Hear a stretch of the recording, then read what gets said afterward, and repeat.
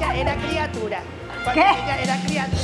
Señores y señores, ¿qué tal? ¿Cómo están? Bienvenidos. Hoy vamos a tener las noticias más resaltantes aquí dentro de nuestro No Te Cierro el Cierre. Por supuesto, con la participación también de mi querido compañero Luis Vareiro. Luis, contigo.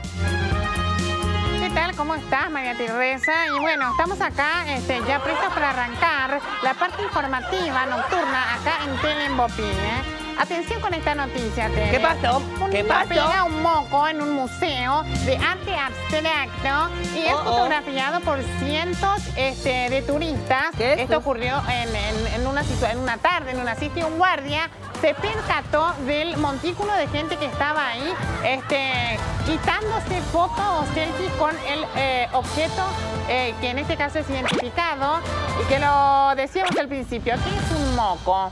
Entonces es impresionante el destino turístico que podemos llegar a generar si este, le alzamos en un colectivo a toda esta cantidad de turistas.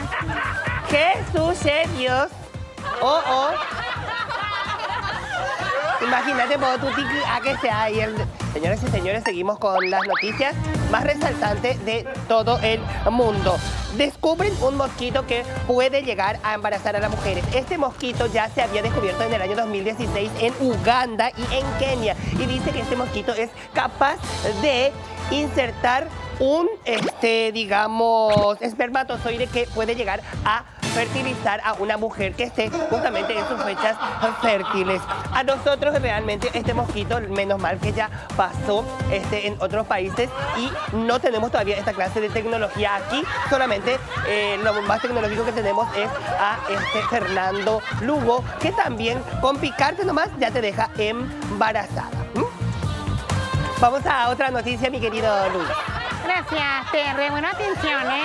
Imagínate, da a luz a un niño negro y echa la culpa al marido por tomar café ¿eh? en pleno acto sexual. Imagínate, Tere. Lo curioso del caso es que a pesar de que la pareja eh, ¿Eh? de la madre también, sí, eh, también es de raza blanca, imagínate, por suerte no se metió chupetines, porque si no la criatura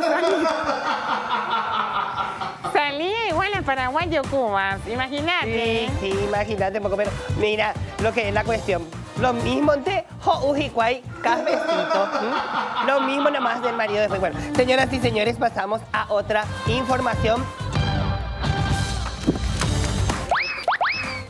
que dice lo siguiente, al parecer en este nacen 18 niños de color pelirrojo y el único este, que era pelirrojo en la ciudad era el perdón, en el valle era solamente el país. Esto es lo que llama poderosamente la atención porque justamente este sacerdote es el único pelirro- pelirrojo que está viviendo dentro de este pueblito y nacieron 18 criaturas con dichas características referentes al padre, señoras y señores, al padre cura. Señoras y señores, entonces las autoridades municipales se vieron obligadas a hacer entonces un estudio grandioso y cuantitativo de cuántos son los niños específicamente y cuáles son los padres que no son de color pelirrojo. Señoras y señores, entonces no se me ocurre dar otro remate que también saludarle así al cura, ya que era el cura, a este señor. Muchísimas gracias.